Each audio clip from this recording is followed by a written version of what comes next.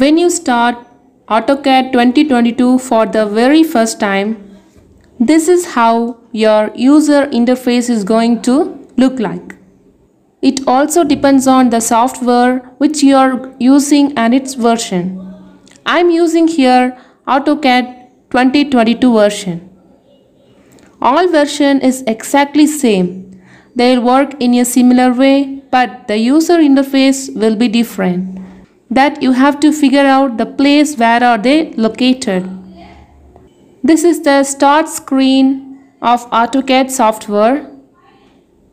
Now you have to go to new and you have to click this acad.dwt template. In some version start drawing option will be there. Click that start drawing also to start your new drawing. This is the start screen of AutoCAD software. That is this is the user interface. And now a new tab is open here. Here we have different parts of AutoCAD software. Let's see one by one. The first one is Quick Access Toolbar. This is called Quick Access Toolbar. This home, insert, annotate, parametric, view, manage, output and so on is called ribbon. This is the ribbon area. To show menu bar, you have to click this down arrow. Click show menu bar. This file, edit, view, insert, format, tools, draw, dimension, so on. This is called menu bar. Next one is status bar. This is called status bar. Next one is command bar. This is called command bar. This is called navigation bar. We should also know about the file extension. In AutoCAD, two file extensions are mostly used. .dwg and .dxf. .dwg means drawing. That is AutoCAD file is saved in this format only once we finish our drawing. .dxf. This is for what? If we want to import our plan in another software to continue design that is to create 3D work we can save file in .dxf format. To activate any command all you need to do is just click on its icon and the command will start. See if you click this line command you can start to draw line or you can also use the command bar to type your command. If you press L enter which is the shortcut key for line command the same thing you can draw here. This is our drawing area. Let's first make our very first drawing quickly. For, for that first type L enter in the comment box. Now when you do that you will notice that your cursor will look like this two intersecting lines. This type of cursor is called point selection cursor. And also right next to cursor, you will see this kind of tooltip. If you have this kind of tooltip, that's fine and this is called dynamic input tooltip. If you don't have this, you can bring it using F12 function key. And now to specify first point, click at a point and that's going to be your first point. Now click again and that is your second point. Click again, this is your third point. Click again, this is your fourth point. And now you can join here. Alright, and here we have the very first drawing once you have finished making your drawing, press enter to exit from the command. Because after making line, your command will still remain active. So now let's talk about navigation tools. How to move a diagram in AutoCAD. Let's draw now a simple circle.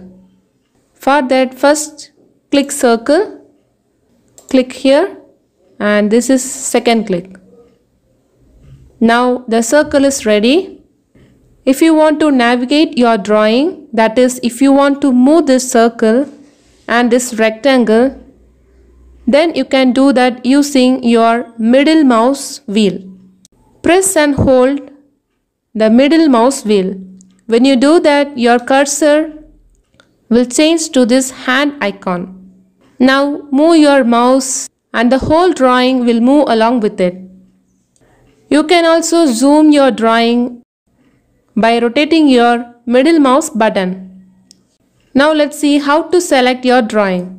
To select anything in your drawing, all you need to do is just click on it and that object will be selected. Like this you have to click so that the object will be selected. To deselect anything, press escape key and it will deselect your selection. To exit any command, press escape key and you can press escape key couple of times also. If you have lots of objects to select like here rectangle is there and circle also there and if you have many objects to select at a time for that you can use windows. So click at the point and let go your cursor then move your cursor to the right. This window is called selection window and everything which is completely inside this window is selected. Now click here. See here all the objects are selected. Press escape couple of times. Now the second window is crossing window and for this click here and let go of the cursor. Just click left side. This window is called crossing window. Any object which even touches the boundary of this crossing window will be selected. In this case, three lines of rectangle and a circle is selected. They are not completely inside and if you click, they will still be selected like this. One circle and three lines of rectangles are selected. Third kind of selection is lasso selection. For this selection, press and hold your left click. Now move on your mouse.